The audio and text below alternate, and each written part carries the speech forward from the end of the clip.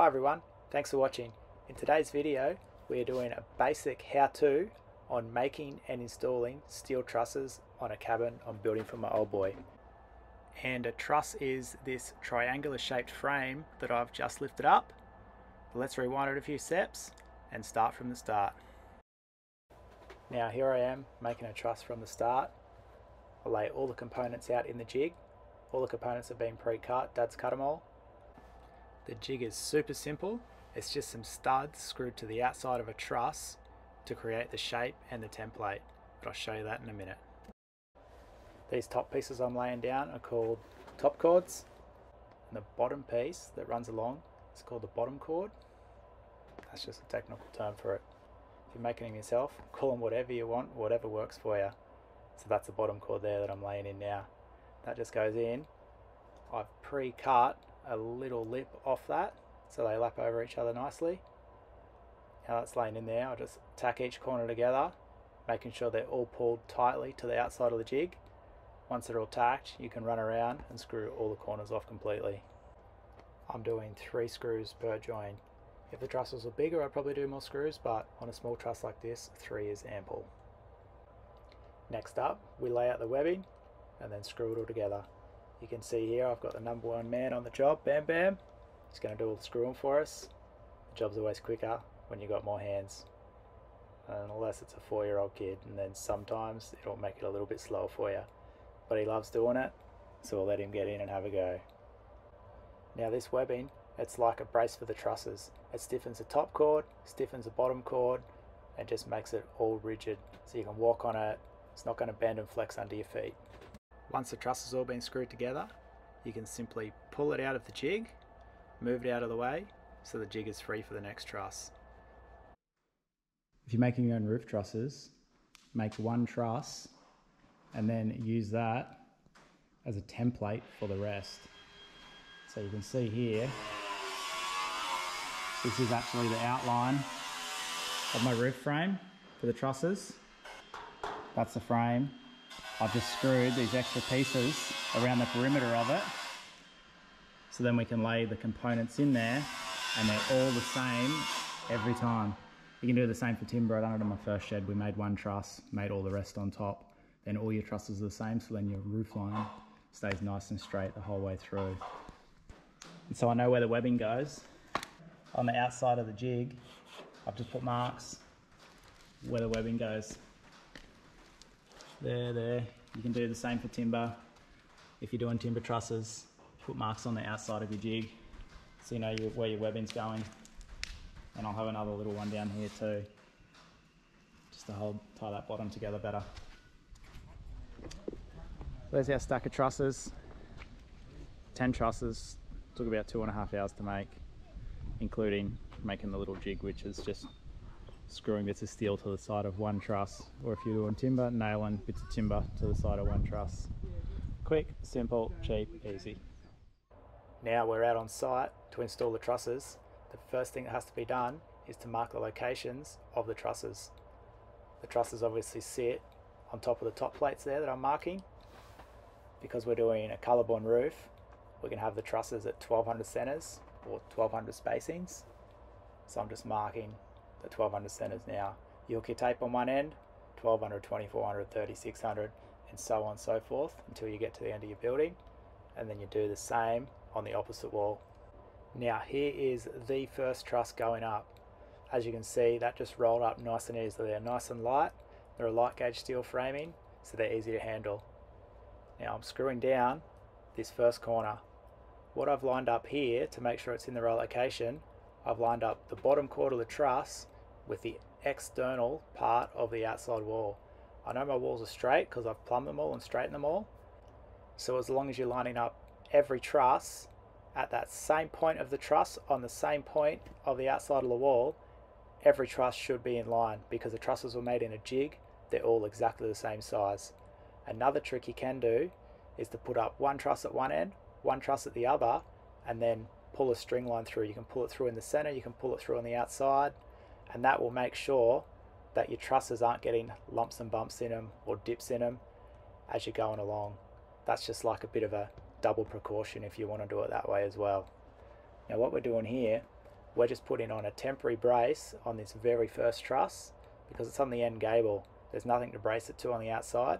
So I'm running a 45 brace just from that truss down to the top plate. Dad's just plumbing it up to make sure it's plumb. And then we're right to measure every truss off that truss. Now we're going to put a truss up at the opposite end of the building, like I was saying earlier. So I can have a truss at either end and I can pull the string lines through to make sure all my trusses are running in the same line. And as you can see, the trusses are light. One person can lift a truss by themselves. Here I am just chucking it up on the roof of myself because they're so light. If they were timber, they'd be a bit heavier. They'd be a bit harder to throw around. But if you got a second person there, you'd have no dramas. Obviously, I've got Daddy helping me out. He can hold them up plumb while I can screw the ends off. Otherwise, they'd want to try and fall over. To do this by yourself would be a real struggle.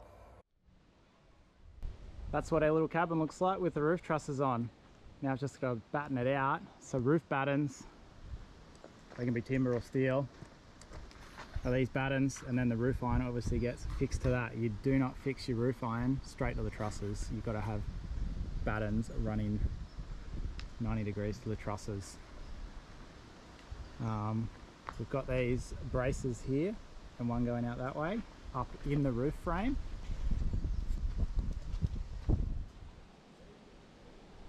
these ones they're screwed up to the underside of the truss and then down to the top of the top plate because they're on 45s against each other they are a brace. To brace the gable end gable end is this flat end here. Gets a lot of wind loading. So you put those braces in to brace the gable end.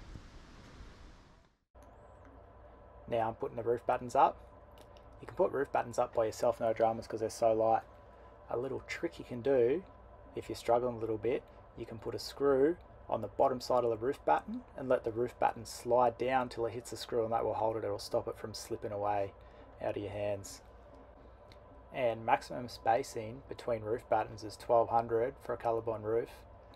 Our roof is less than 2400 long, so we're going to have one batten at the bottom, one batten at the top, which the ridge cap will also get screwed to, holding the roof iron down at the same time and a center batten. When you're doing the top batten, you need to work out how wide your bridge cap is from center and where you want that screw line to land so you've got that top batten in the right spot. You don't just bang it up anywhere because otherwise it'll be in the wrong spot, guaranteed. And it's also very important to have your roof battens nice and straight and running parallel with each other because your roof iron gets screwed down to these battens. It defines where your screw lines go. So you want a nice straight screw line because you can pick it if your screw line's all wavy or out of parallel. You can pick it if you stare hard enough at the roof later on. I also forgot to mention, when you're screwing down your battens, they get one screw on each side of the batten at every point where they cross over a truss. This also helps keep the roof nice and stiff. Once all your battens are on, it's like a big frame. It all works against each other and holds it nice and stiff and square. Stops it moving around in the wind because the last thing you want is any movement. You want this building to be rock solid. You don't want any movement. If it moves, you're going to get cracked plaster or cracked lining, whatever you got on the inside. You just want to know that it's nice and solid, nice and stiff, it's nice and strong. It'll take any kind of storm. You don't want to be worried laying in your house, big storm, oh, is my roof going to fall off? No, you want this thing done right. Now here you can see I'm screwing down the middle batten and all my trusses are holding up pretty strong. I'm standing on the bottom chords, I'm going to start walking over the top chords later. Those braces we chucked in earlier when we're building the trusses, this is where they come into play. You can walk all over it and you don't have to worry about anything bending or moving. And you've probably also noticed I've got a lot of overhang on my batten hanging off the end of the building there. I'm going to have a little eave over the end of this gable just to help keep some weather off the end of the building there. So these battens are hanging out as a fly rafter. I will cut them back shorter. I'll just get the other side on and get a nice straight mark through there before I cut them off to length. Took five days to get to this point. So that's set our profiles, dig the piers, stumps in, build the floor frame, get all the flooring down, build the wall frame, stand them, plumb them, build the roof trusses, put the trusses on, put the battens on. So anyone can build something like this. Yeah, it might take them more than five days. but it's doable. It's all doable. You know, if you got no idea what you're doing, might take you two weeks, but you'll get it done. And you know, if you want to live off the grid and a cheap way of living, you build something like this and you don't have a massive overhead. Thanks everyone for watching. I hope you were able to learn something. If you enjoyed the video, please remember to like and subscribe, and I'll see you on the next one.